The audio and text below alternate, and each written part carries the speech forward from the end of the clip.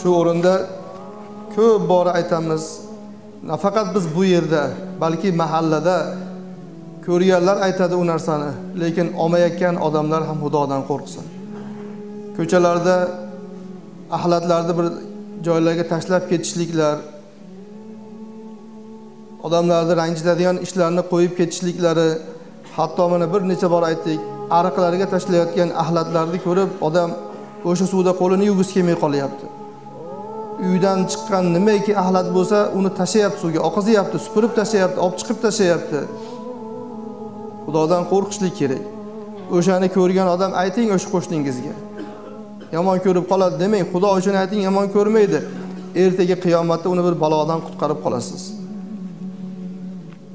Juda ko'p joylarda bo'lyapti ariqlardan shikoyat bo'lyapti. Oqib kelayotgan narsani ko'rganda odam bir aytishga ham noo'rin narsalar oqib kelyapti. Nimani bo'lsa olib chiqib tashlanyapti. Burchaklarga ko'chani boshlariga axlatlar tashlab ketilyapti. Tozalik bo'lmasa farishta bo'lmaydi farishta bo'lmasa baraka bo'lmaydi. O'zimizga o'sha yomonlik.